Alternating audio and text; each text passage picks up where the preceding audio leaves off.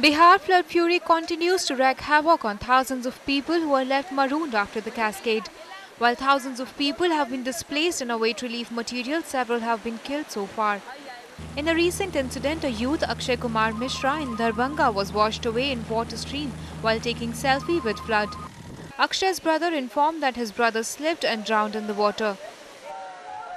हम आप लोगों के माध्यम से सभी लोगों से अनुरोध करना चाहेंगे और विशेषकर गार्जियन से कि जब पानी भरा है चारों तरफ़ तो बच्चों पर ज़रूर निगरानी रखें और कौतूहल बस उत्साह बस वो पानी में खेलने जाते हैं नहाने लगते हैं या कुछ लोग सेल्फी लेने लगते हैं तो उसमें दुर्घटनाएँ हो रही हैं कल की जो हुई हैं दुर्घटनाएँ अधिकांश मामलों में सेल्फी लेने का मामला है और या तो बाढ़ को तटबंध को देखने जाने का मामला है Troubled by the flood fury and lack of help from government, Darbhanga MP Kirti Azad has threatened the.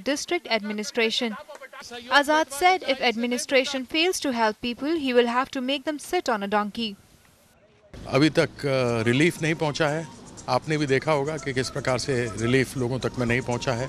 साथ ही साथ अभी तक सूची नहीं बनी है जो कौन कौन से लाभार्थी होंगे किनको लाभ मिलना है वह भी तैयारी नहीं हो पाई है। मोटरवे नहीं है अप्रोच नहीं है। जब अप्रोच नहीं है तो किस प्रकार से रिलीफ पहुंचेगा, यह भी कहना बड़ा कठिन है।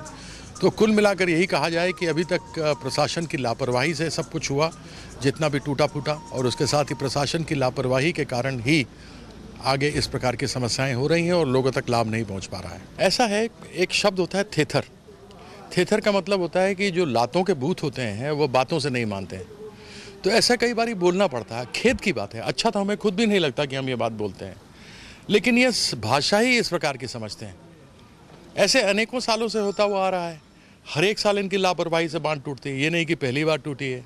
ऐसा क्यों होता है? जब आपको मालूम है कि बाढ़ आनी है, वर्षा होनी है, नेपाल से पानी छूटना है, बाढ़ आना ही है, समस्या होने ही वाली है तो फिर आप पहले समस्या का प्रबंधन क्यों नहीं करके रखते? हैं तो ऐसी भाषा कई कई जगहों पे बहुत अच्छी भी होती है और उपयोग भी होती है ऐसे अधिकारियों के लिए वो ज़रा टाइट रहते हैं सजग रहते हैं नहीं तो क्या खराबी है इसके अंदर बोलने के लिए अगर अधिकारी आम जनता जो हमें जिताती है अगर उनके साथ में इस प्रकार से करेगी तो फिर गधे पे बैठाने में उनको क्या खराबी है बैठाएँगे Various parts of Bihar, Assam and West Bengal have submerged in water after incessant rains and heavy water flow from Nepal.